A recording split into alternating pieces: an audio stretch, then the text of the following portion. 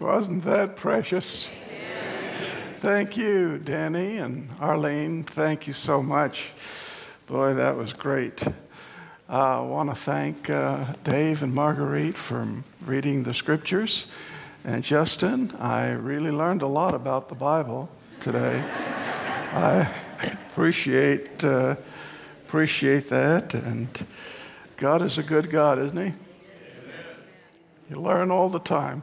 But He taught a good lesson, and that is don't believe everything you hear, even if it comes from the pulpit. Uh, verify it, document it, search the scriptures. Be sure you prove all things. Let's pray, shall we? Father in heaven, this morning we come to you because of our great need, because of our deep longing to be one with you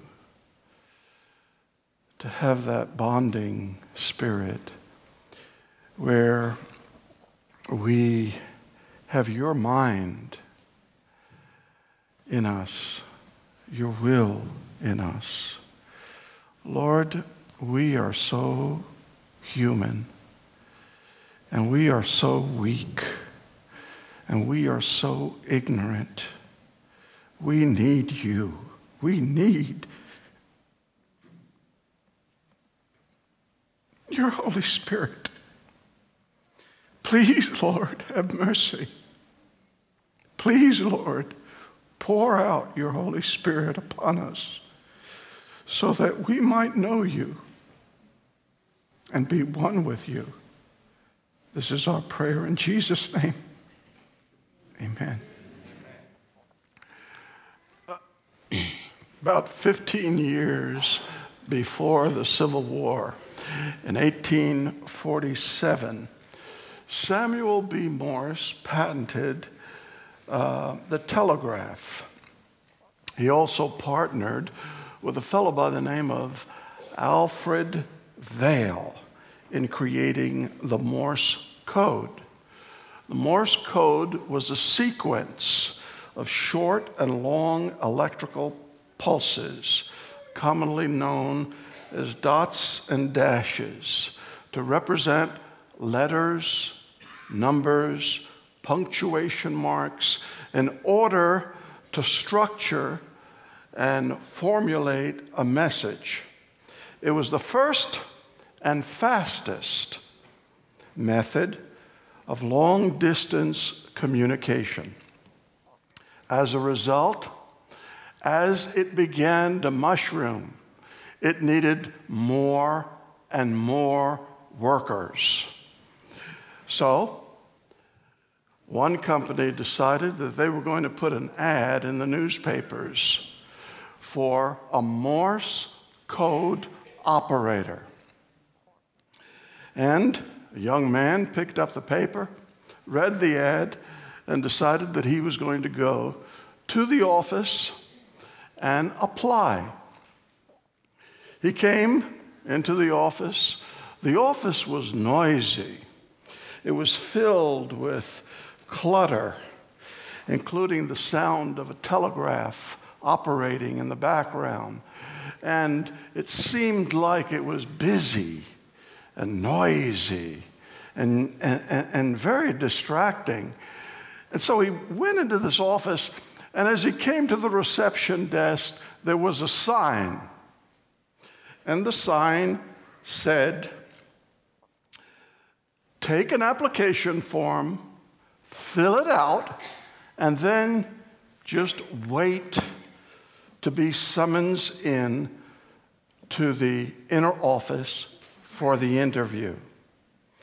One man came in, he went to the reception desk, took out the application form, filled it out, and then he just sat and waited to be called.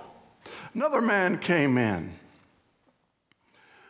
took the application form, filled it out, and sat down and waited, waited to be summoned, to be called. A third, a fourth, a fifth, a sixth, a seventh man came in. They all filled out the application form and they all sat down in the waiting room, waiting to be called. Then all of a sudden, an eighth man comes in. He goes to the reception desk, he reads the sign. Take an application form, fill it out, sit down, and wait to be summoned. And so he took the application form, filled it out, sat down with the rest of the seven applicants, and then after a few minutes, got up and walked straight into the inner room. The other applicants looked at him and thought he had lost it because they hadn't heard anybody calling out a summons to come into the inner room. And uh, um, they started wondering what was going to happen with this young man who went in the other room. But after a few minutes, the employer came out and he escorted the young man out of the office and said to the other applicants, Gentlemen, thank you very much for coming but the job has just been filled. The other applicants began to grumble one to another. And then one of them got enough courage to, to confront the employer and said, Now, wait a second, wait a second. He was the last one here. And we were here before him. And we were waiting to be interviewed. How come he got the job and we didn't? We didn't even get a chance to be interviewed. That's not fair. That's not fair. The employer said, Well, I'm sorry, but all the time that you were sitting here, the telegraph had been ticking out the following message in Morse code. And it gave a message, and then at the end of the message, it said, If you understand this message, then come right on, come right on in. The job is yours. none of you heard it, and none of you understood it. This man did, and he's got the job. We live in a world where there's so much going on. So much activity, so much noise. Noise in the world, noise in our economical sector, noise in our family, noise in our school, noise in our church, noise, just a lot of noise. And it's distracting sometimes. And sometimes when it's distracting, sometimes we can't hear what God is trying to say to us and reveal to us His will. Ellen White makes the statement, and it's found in the back of your bulletin. It's the middle, it's the middle quotation. And you won't find this in, in, in her uh, publications, but it's, it was written on the front of her old Bible in her own handwriting. And she says, Pray till prayer makes you forget your own wishes or leaves or merges it into God's will. The divine wisdom has given us prayer not as a means to obtain the good things of earth, but as a means whereby we learn to do without them. Not as a means to escape evil, but as a means whereby we become strong to meet it. God has given us His Word, His presence, His opportunity to talk to Him and pray with Him as a means whereby, whereby we become one with Him, one mind with Him, where our will merges with His will. That is the ultimate objective of the plan of redemption. Oh, she goes on in this next quotation in the smallest as well as the largest matters. The first great question is what is God's will in this matter? For His will is to be our will. Amen. Now, how do you find out what God's will is? How do we know God's will? How do we understand the mind of God? Generally, you know, we all have our stereotyped answers. The Bible. Well, that's true. The Bible does reveal the, the mind of God, the will of God. Psalms 119 and 105 says, Your word is a lamp unto my feet and a light unto my path. God's word is a revelation of his character in different circumstances, different situations, in different times. That is true.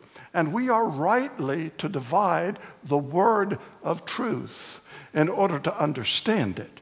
We're to analyze it, not just take one text and say, this is God's will. No, that's not to develop a deep theological understanding of God. But the scriptures is our base. Providential circumstances is another source of understanding God's ways and God's will, circumstances. God sometimes opens doors, and then sometimes God closes doors. He goes before us. He is the good shepherd. In Romans 8 16, we have the impressions and the convictions of the Holy Spirit working in us. And we talk about conscience. Conscience is subjective and relative. There's a good conscience, conscience, there's an evil one, there's a seared one. So conscience isn't an absolute like the scriptures is more absolute. Then you have the council of spiritual people. In Ephesians 4, God said that He gave the church some apostles, prophets, evangelists, pastors, teachers. God gave the churches certain gifts, and God works through these individuals, just like Jethro counseling Moses. And then there are signs. Sometimes God gives us indications, signs. But in all of these ways, all of these ways have to harmonize. They have to be in alignment with one another. If God impresses you to do something, and if it doesn't coincide with the scriptures or with providential circumstances, then you need to wait until it's clear and not to run impulsively. Sometimes God reveals his will, but he tells us, wait. In the case of Abraham and Sarah, God told Abraham and Sarah that they would have a son. Abraham was 75 years of age. But the timing didn't materialize until he was 100. 25 years later. Abraham had to wait 25 years. And of course, you know the story of the ways that God reveals his will. We talked about the council of spiritual people. Now, it was good that Justin gave us that children's story because you need to document and verify and prove all things. Amen. You remember when King Rehoboam took the throne after King Solomon died. King Rehoboam asked his counselors, he asked some of the older counselors what he should do. They gave him some counsel. Then he asked some of the younger counselors what he should do. And he took the advice of some of the younger counselors. And what happened? The nation of Israel split. You remember Ahithophel. Ahithophel was a counselor of King David. And if you read the Bible, his counsel, according to the Bible, was like the counsel of God. He was so revered, but yet, when Absalom rebelled, he went and he counseled Absalom. And he, of course, had some, he had, he had a problem because King David uh, had um, taken his granddaughter, Bathsheba, and, and his grandson, uh, the first child of Bathsheba, died. And he kind of resented what he did to Bathsheba. So he had some personal feelings that skewed his counsel to Absalom. But you remember the end result. Absalom died, and Ahithophel committed suicide. Now, you also have the story in 1 Kings 13, the story of the old prophet and the new and the young prophet, and how that all ended up. And when you read the scriptures and you, and, and, and you take all of these examples, it tells you that you can't put your trust in the human element. You just can't. You've got to put your trust in, in God. He's the only one. Sometimes we ask for signs because life is confusing and we want something clear cut. And sometimes we don't know where to go. And so, in desperation, we ask for signs. I'm reminded of a story that appeared in Reader's Digest of a flight attendant that decided she was going to take a week's vacation and go to the Rocky Mountains. She was captivated by the mountain peaks, by the clear blue skies, by the sweet smelling pines, and she was just enamored with the beauty of nature. And nature is tranquilizing. It's reinvigorating.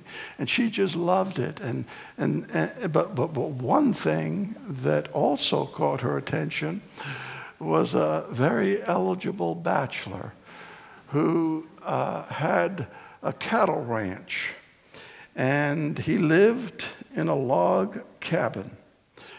Well, she spent the week there in the Rockies in nature, and she was enjoying the new relationship. And at the end of the week, she tells the cattle rancher, Well, I'm going to have to be going back home now. And he, in desperation, not wanting to lose an opportunity, proposes marriage. She is taken back by it because this kind of came rather sudden after only a week. And so she tells him, I need a little time to think about it and to pray about it. Let me go home and uh, I'll get back to you. Well, she went home.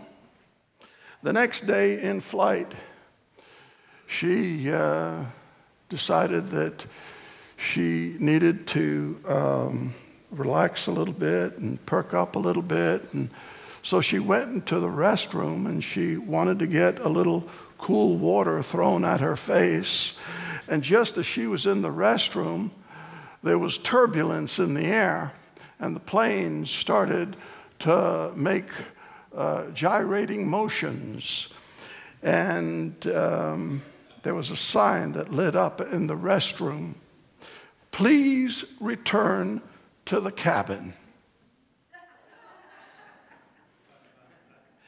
And she took it as a sign of God to go back to the Rockies and to marry that cattle rancher. Well, now there are times, there are times that God does give signs. That God does give signs to reveal his will. You remember Gideon and the fleece, the ephod on the high priest with the Urim and the Thummim, Joshua and the sun standing still, Hezekiah asking for the sun's shadow to go backwards 10 degrees. All of these are biblical. And God works through these things. you remember even the casting of the lots. Do you remember that Justin was reading about Joshua and how they cast lots to, I mean, um, Jonah. You're going to learn new things about the Bible today. how Jonah was, was in the ship and they wanted to identify who the culprit was, and so they cast lots.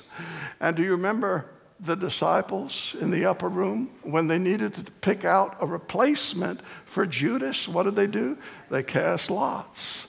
Now, ordinarily, ordinarily, that's not the way that God generally speaks to us and reveals his will.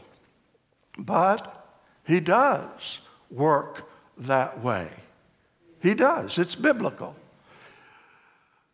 However, that's not the general way he does it. There's other factors to consider when you think about trying to understand what God's will is. God is sovereign. He is all powerful. Man has free will. Man has a choice. And there's a dynamic tension that always exists between the sovereignty of God and the free will of man. Generally speaking, generally speaking, God respects your free will, your power of choice. But there are times in the Bible where God just won't take no for an answer. And He'll force an issue. For instance, you remember Moses when he was in the burning bush?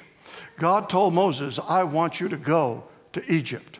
Moses started giving all kinds of excuses, all kinds of arguments as to why he couldn't go back to Egypt and free the children of Israel. God didn't hear it. He said, Go. And Moses went. You remember Pharaoh. Pharaoh was told that the will of God was to release the people. Pharaoh hardened his heart. God had to use 10 plagues to force the issue. He wasn't going to take Pharaoh's free will for an answer. Force the issue, and then he went uh, um, to the Red Sea to pursue the children of Israel, and he died. You remember Balaam. God told Balaam not to go to curse Israel, but he went on three different mountaintops, and instead of cursing them, he blessed them. But it was uh, a resistance. God wouldn't accept it. And of course, Jonah going to Nineveh. Jonah didn't want to go to Nineveh, and he went the other way. God didn't accept Jonah's free will, he forced the issue. And he, oh, Jonah, poor Jonah, thought he was dying in the belly of the whale for those three days. If you read the prayer, he, he, he thinks that he's in the grave. He's had a near death experience, the poor fella. God wouldn't take no for an answer. He wouldn't accept Jonah's free will. So there are times, now, generally speaking, God does ex- accept your choice. He works with you. But then there are some times that He will not. He'll say no, and He'll force the issue. But then there are other times when you have a distinction between God's preferred will, God's ideal will, with God's permissive will. You find this in numerous occasions in the Bible. You remember in Numbers chapter 11, the children of Israel were wandering in the wilderness, and God provided for them manna. They didn't want manna, they wanted quail. And so God gave them quail.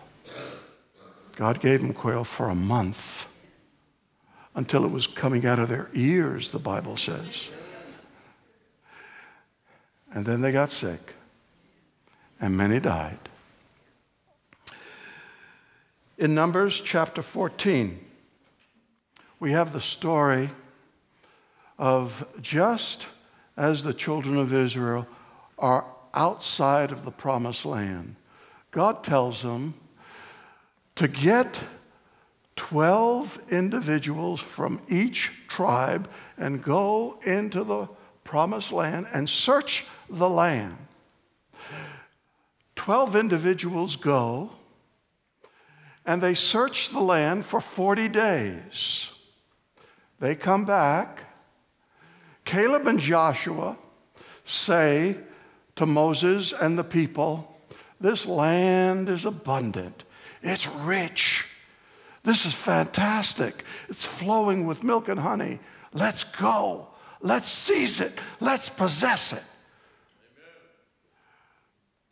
But the majority, 10 of them, and now wait a second, let's not be too hasty. There are giants in the land and the walls of the city are huge. I mean, look at the obstacles, look at the problems, look at the difficulties, look at the barriers. Don't make any rash judgments. And pretty soon the 10 had convinced the entire multitude that it was an impossible task. If you read Numbers chapter 14, verses 1 through 4, you'll read, and so all the congregation, that's two and a half million people, lifted up their voices and cried, and they wept all night long, crying all night long. And all the children of Israel complained against Moses and Aaron, and the whole congregation said to them, If only we had died in the land of Egypt, or if only we had died in this wilderness. Why has the Lord brought us to this land to fall by the sword, that our wives and children should become victims? Wouldn't it be better that we return to Egypt? And so they said to one another, Let's select another leader and let's return to Egypt. Now, if you just go on to verse 26, you find out what God does. Here, the people are looking at problems. They're looking at obstacles and they're saying, I wish we could just die in this wilderness. That's what they were praying for. Look at verse 26. And the Lord spoke to Moses and Aaron, saying, How long shall I bear with this evil congregation who complain against me? I have heard the complaints of the children of Israel made against me. I want you to notice God took it personal. God took it personal. And he said to them, As I live, says the Lord, just as you have spoken in my hearing, so I will do to you. The, caucus, the carcasses of you who have complained against me shall fall in the wilderness, all of you who were numbered according to your entire number from 20 years old and above, except Caleb and Joshua. They will enter into the land which I swore that I would make you dwell in. I want you to notice the reason why the majority of the children of Israel who left Egypt didn't go to the promised land was because they asked God not to go to the promised land. They said it would have been better for us to die in this wilderness, and God gave them what they prayed for. Another incident is in 1 Samuel 8, verses 1 through 9. The people. The people were not happy with the situation with the judges. Samuel was getting older, and his sons were not doing what was right. And so they came to Samuel and they said to Samuel, We want a king. We want a king just like all the other nations. And God gave them a king. And then you remember the story what happened to the children of Israel. Right after that, they divided. Ten tribes went to the north, to Syria, and the Assyrians scattered them in 722. And then the other two remaining tribes in Judah were taken by a Babylonian captivity in 606 BC. But I want you to notice in 1 Samuel 8 7, God took it personally. He said, They haven't rejected you, Samuel, they've rejected me in asking for a king. Do you remember King Hezekiah was sick? He was sick unto death, he was going to die. The prophet Isaiah comes in and he says to King Hezekiah, Look, you're sick, you're mortally sick, you're going to die. Prepare your house, get everything and make it in order. King Hezekiah says, No, I don't want to die. Please pray for me. I'm going to pray. You pray. I don't want to die. I want to live. He prays. Isaiah prays. And lo and behold, God responds. And he heals him and he gives him 15 more years. 15 more years. During that time, he gives he and his wife give birth to a son called Manasseh. And Manasseh was the most evil king in Israel. He introduced spiritualism and demon possession, all of that in Israel. He ruled the longest, 55 years of all the kings. He's the longest reigning monarch in Israel. And if you read the scriptures in 2 Kings 21, verses 10 through 18, the Babylonian captivity was the result of Manasseh's sins. Manasseh should have never been born. He should have never been born. But King Hezekiah didn't want to die. And he prayed. God answered his prayers, and they experienced the consequences.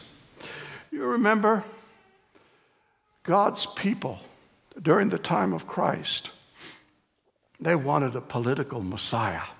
They didn't want a spiritual Messiah. They wanted someone who had the means and wherewithal to start a revolution and to start an insurrection and to revolt against the Roman Empire and give them their independence. They didn't want another nation to occupy Israel. They wanted their freedom just like in the times of King David and Solomon. They wanted to rule. You remember when Pilate took the case during, during uh, before the crucifixion. Pilate had two prisoners.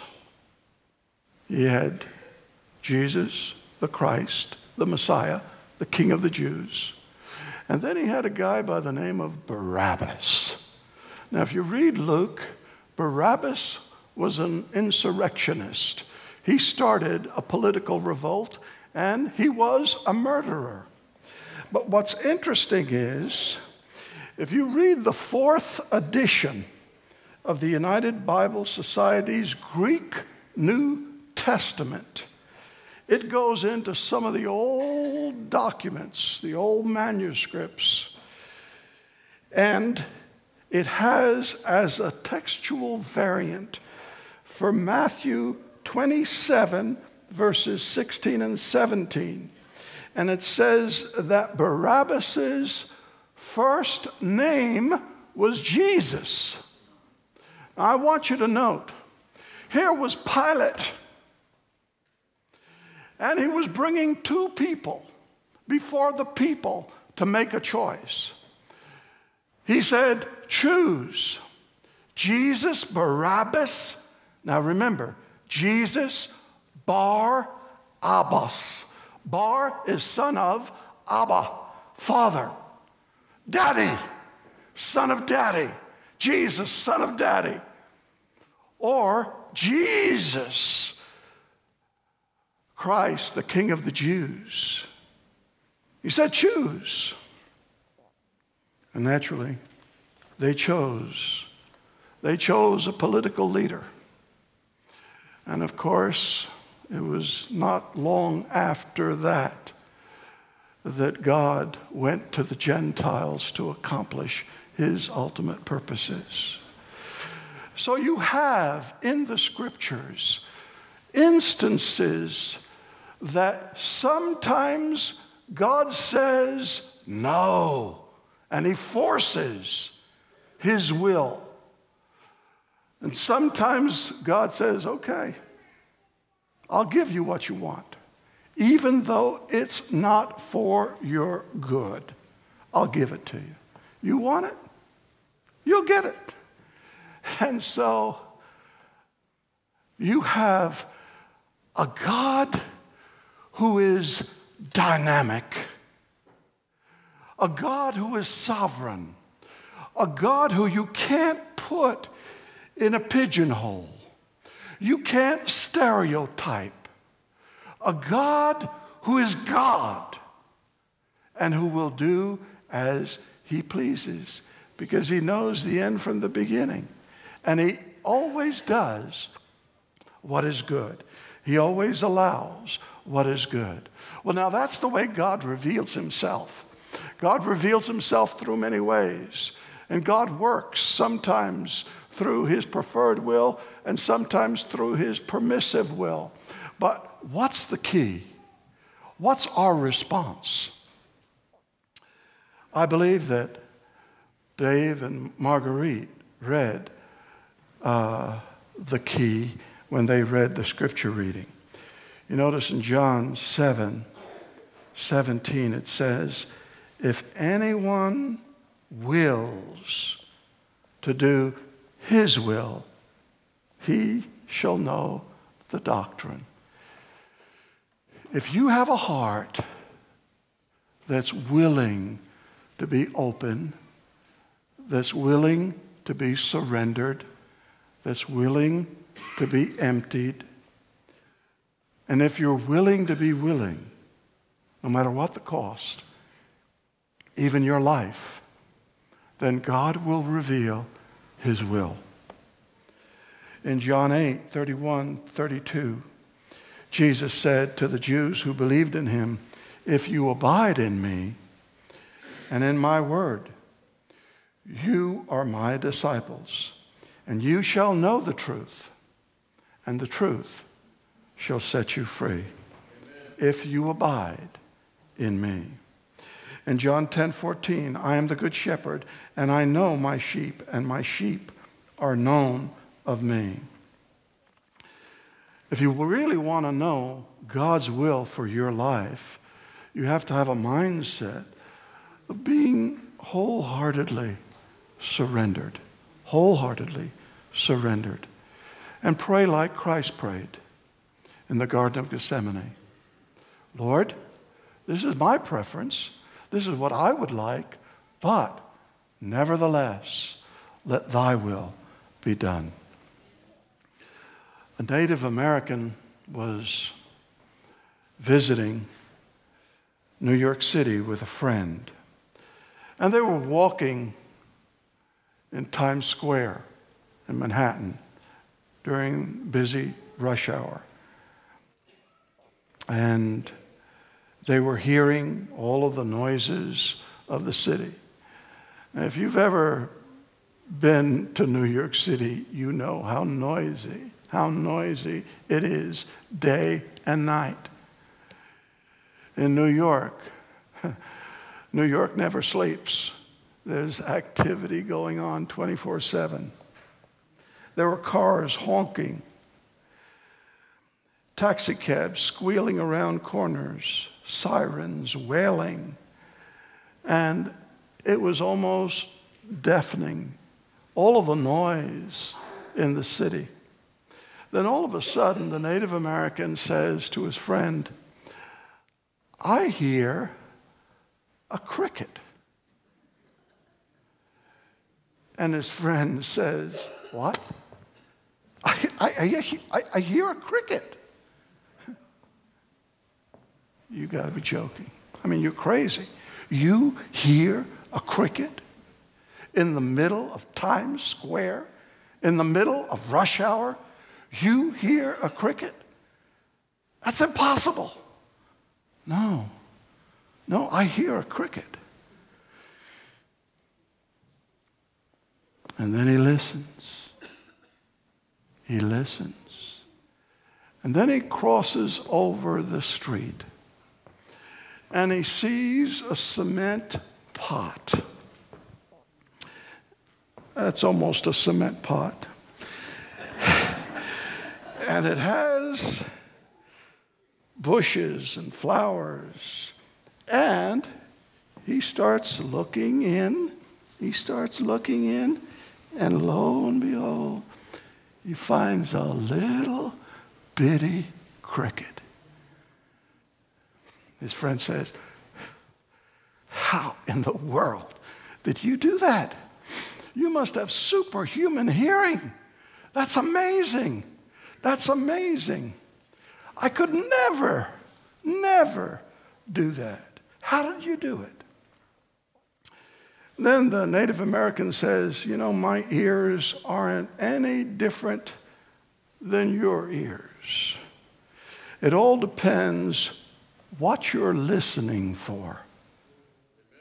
And then his friend says, I could never, never hear a cricket and all this noise. Yes, it's true. You could if you tuned in to hearing a cricket. I'm going to illustrate something for you. And then the Native American reaches in his pocket. Ah. He takes some coins quarters, dollars, half a dollars, and he throws them on the floor. And you can hear the coin dropping on the cement floor in New York City. And 20 feet around him, people's heads. What's that tinkle of money on the cement floor? And people started looking. People started looking Where's that money coming from? Because they thought that maybe there was an opportunity. And then the Indian said, See what I mean? It all depends what you're listening for. So it is with the Holy Spirit and with the will of God. God wants so desperately to communicate His will, His love, His truth to you. All we have to do is tune in, surrender, embrace His truth, because His truth will give you eternal life. What do you say? You want to tune in? I want to tune in and surrender and follow His will.